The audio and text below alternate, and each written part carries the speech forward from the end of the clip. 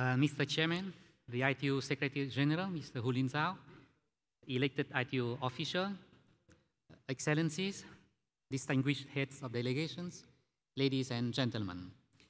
It is a great honor for me to make this statement on behalf of the Socialist Republic of Vietnam at this very important WTDC 17. Uh, first of all, I would like to highly appreciate all the effort and hard work of the ITU in, in organizing this high-level, very important conference. This is really a very good opportunity for us to learn and to exchange experiences on the implementation of ICT strategies and on solutions to use the ICT to achieve the Sustainable Development Goals. Nowadays, the explosive development of ICT has made such rapid and deep changes to the society and to the economy.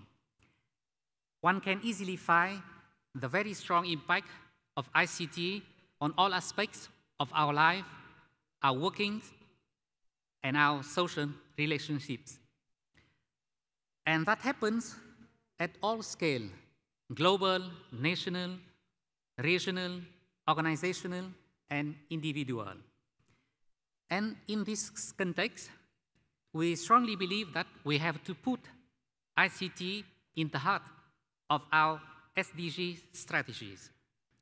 And in fact, Vietnam has been making every effort to make the best use of ICT to create new driving forces for sustainable and inclusive growth. We are focusing on the following priorities.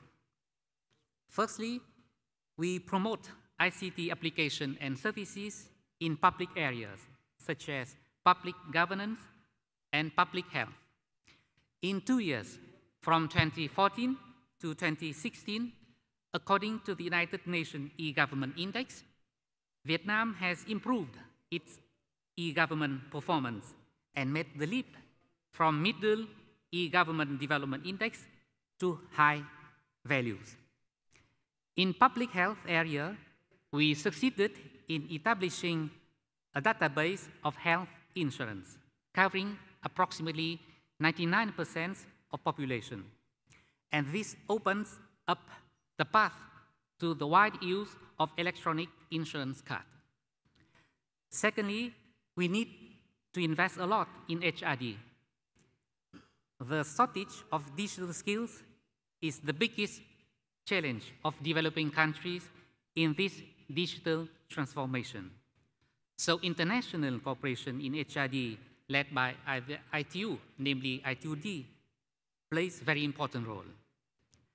Thirdly, as an agriculture country and among the 10 most impacted by climate change, we need to promote e-agriculture. And our government and Prime Minister emphasize constantly that priority must be given to e-agriculture. Fourthly, we started smart city initiatives, and we think that this will create new ICT market opportunity and new opportunities for international cooperation.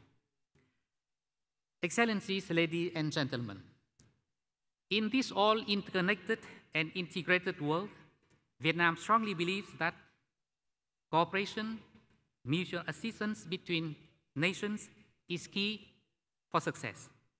And from our side, we are always ready and eager to cooperate with other members to jointly address common ICT challenges. In addition, we do wish to make further contribution to the ICT community through our presence at the Radio Regulation Board. In concluding, I would like to express our sincere thanks to the ITU, the ITU Secretary General, and the ITU staff who have been making continued efforts to connect members to enhance mutual understanding and to provide valuable assistance to members. I would also like to thank for all the great hospitality extended by the host nation of the Argentina Republic who helped to make this conference possible and meaningful.